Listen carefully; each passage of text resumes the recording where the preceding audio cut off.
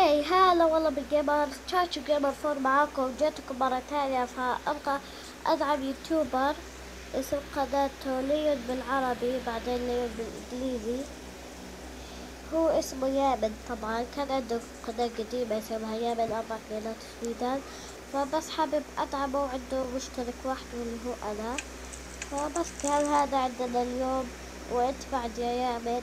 آه خلوهم يشتركوا بقناتي فأتمنى ما تنسوا لايك والاشتراك قناتي وقناة يامن كان معكم محمد ويلا مع السلامة.